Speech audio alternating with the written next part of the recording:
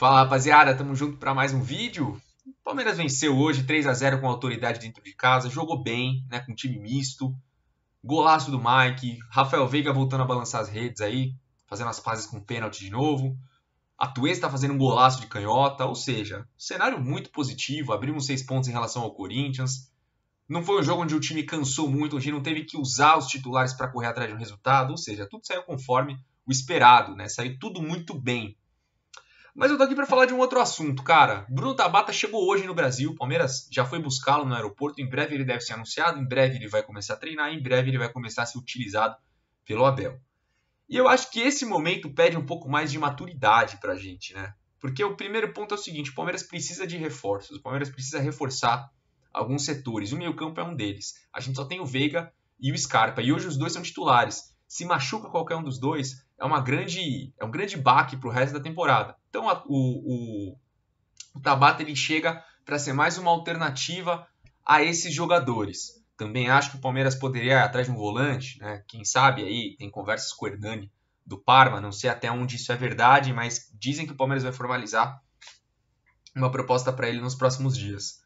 Então o Palmeiras precisa de jogador, esse é o fato. Agora, eu entendo quem se desmotiva com essas contratações, quem olha para os outros times e fala, porra, mas estão contratando bem melhor e o Palmeiras só está fazendo aposta. Assim como eu também entendo quem diga, pô, mas acho que o Palmeiras está tá fazendo apostas interessantes, né? Não é momento de ficar contratando medalhão, gastando rios de dinheiro. Então, eu acho que os dois lados têm razão, porque, na verdade, eu defendo sempre uma visão um pouco mais equilibrada das coisas. Eu acho que a gente pode sempre extrair pontos positivos de qualquer pensamento. Então eu acho que o que falta um pouco nessa gestão do Palmeiras é equilíbrio. Nem 8, nem 80, nem tanto lá, nem tanto cá. Né, eu acho que vale a aposta em alguns jogadores, mas também às vezes vale na certeza de um cara mais experiente, mais tarimbado, que pode render aqui também. Não é porque o cara já tem uma, uma idade talvez um pouquinho mais avançada que esse cara já tá velho, que esse cara não vai render, que esse cara é um medalhão que vai empurrar com a barriga. Não é isso. Eu acho que equilíbrio é fundamental. Agora, esteja você do lado de defender as contratações ou de criticá-las, nada muda o fato de que o Tabata é jogador do Palmeiras e vem jogar numa posição que a gente está um pouco carente. Então eu acho que cabe a gente agora é apoiar. Porque você não vai estar tá apoiando exatamente a diretoria, você vai estar tá apoiando um jogador e um elenco e um trabalho do Abel que vai muito bem.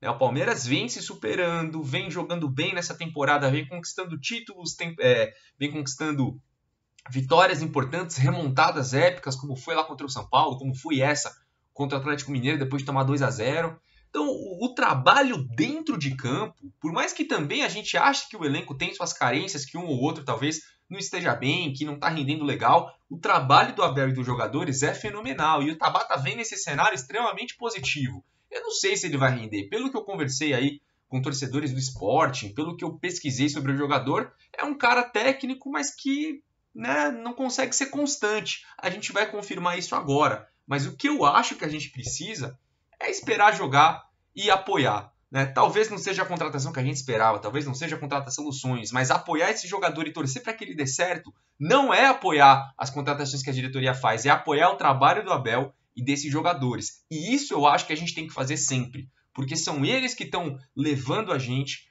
para conquistas cada vez maiores, para muita felicidade, porque o futebol, no fim das contas, é a felicidade que marca, né? de você viver momentos legais ao lado dos seus amigos, dos seus familiares, assistindo o seu time ganhar, assistindo o seu time ser campeão. É isso que marca, é isso que faz o futebol ser tão apaixonante e é isso que os jogadores e o Abel vêm fazendo. Então, de novo, para fechar, eu não quero te ensinar a torcer, eu não quero dizer muito menos o que você tem que fazer. E, e também não estou te dizendo para apoiar absolutamente nada que diz respeito ao trabalho da diretoria aqui. Eu tenho algumas diferenças também muito explícitas em vários vídeos que eu já fiz. Mas o que eu estou dizendo é que assim, o Tabata chegou, o Tabata é do Palmeiras. Em breve ele vai ser anunciado, em breve ele está em campo.